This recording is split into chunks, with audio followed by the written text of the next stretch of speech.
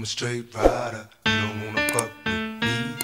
Got the police busting at me, but they can't do nothing to us. Um, you guys know I will be continuing my Words from the Wise series, and today I will be talking about kind of torn between two different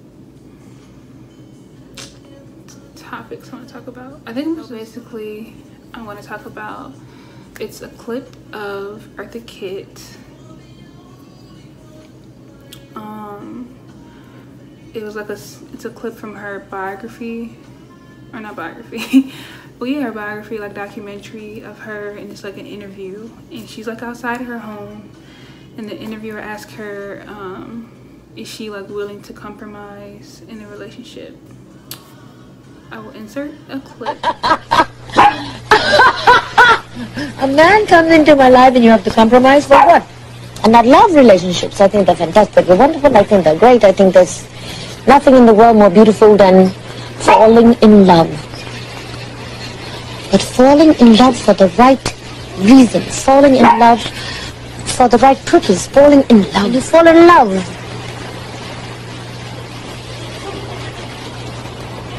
What is there to compromise about?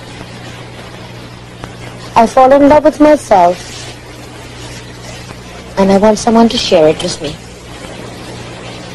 I want someone to share me with me. said um she said no. She said when you fall in love there's nothing to compromise about. Because when you fall in love for the right reasons and when you're with someone for the right reasons you don't you shouldn't have to compromise.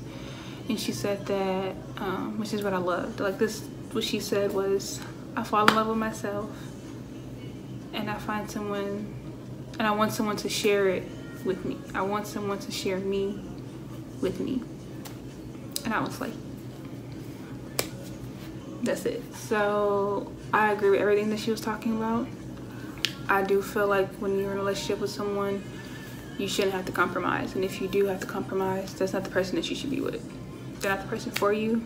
You guys clearly don't want the same things because if you did you wouldn't have to like compromise over it. And to me i associate compromising with settling. And i feel like if you have to compromise something you're settling for that person. Um, or you're settling something that you want. Settling for something that you don't want basically. Just so you can get the person. So like to add context to that would be like let's say you want to get married but the person you're dating don't want to get married but you want to be with that person. So you're going to settle by not getting married just because you want to still get the person because you feel like you're still getting the main you know thing but i feel like no.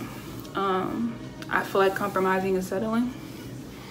If you literally google what compromising is it's going to tell you that it's a settlement. It's like um let me just let's see what it says because if i'm not mistaken compromising is literally settling. Like that's literally what it is i feel like you should never have to settle for anything especially a relationship that's canceled. So define compromise. Boom. And i was right.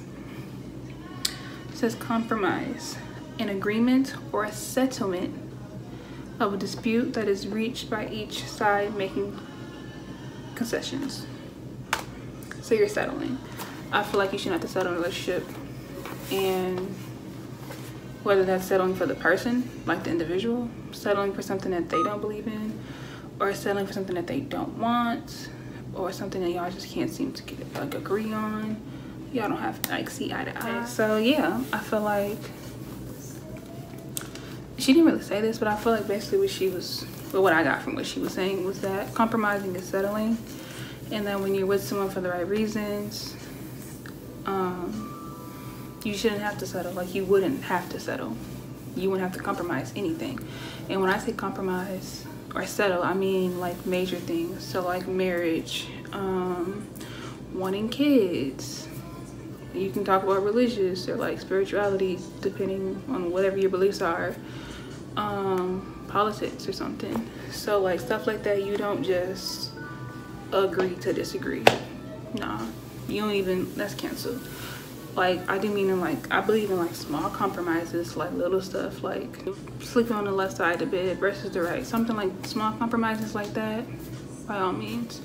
Or he wants pizza, she wants Chinese food, so y'all go get pizza, and then next time y'all get Chinese or whatever. I don't freaking know, but stuff like that, yes. But anything else, no. Like I want to get married cannot date someone who doesn't want to get married. I want to have kids. I cannot date someone who don't want to have the kids because I'm not going to compromise something like that. Like that. That's major to compromise just to be with one person because what he won't do, another man will, and vice versa. So, yeah, that's how I feel about that. And I do feel like, I like how she said, like, I want someone to share me with me.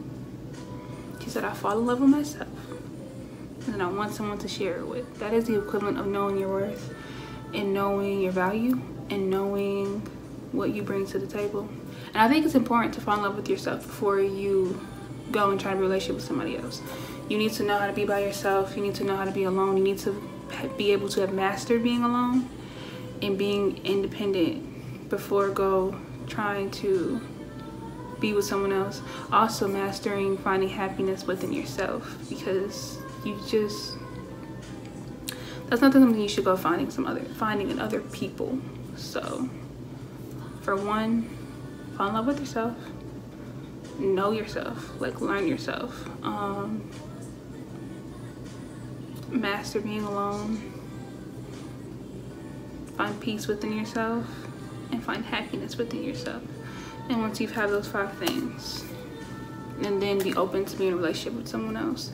And I think that's the equivalent of you fall in love with yourself and then finding someone to share it with. So now that you know your worth, you know your value, you know you, um, you're happy as an individual, you have mastered peace within yourself, like as an individual, you you're, you're more open to a relationship. You can give your all to a relationship without having to lose a piece of you in the process because you already know who you are. You already you're finding you already found contentment by yourself.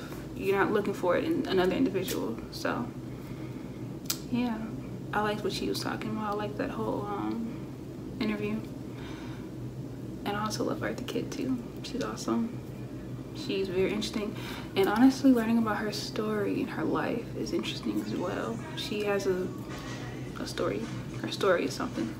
So yeah. Uh, that's my little spiel for that. I was talking all over the place per usual. I have yet to find like a structure or like a i don't know. Boom boom boom like an agenda when doing these videos I just kind of want to freestyle them. Um, I do want to get other people involved, like get other people's opinions and point of views on this specific like series. But with this quarantine going on, it's not gonna happen. So, well, at least not right now.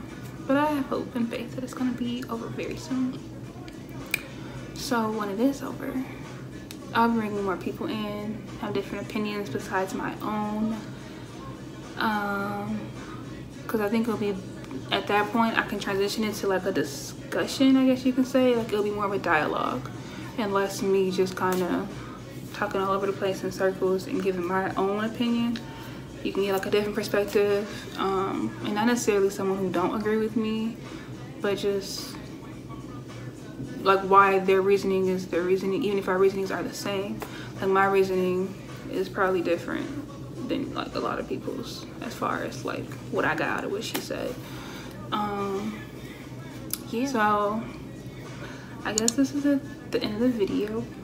If you made it this far thank you so much for watching. Um don't forget to like comment subscribe all that jazz and turn the post notification bell on so you can notify if I'm upload a video you can give me some video suggestions in the comment section. You can follow me on Instagram and Twitter.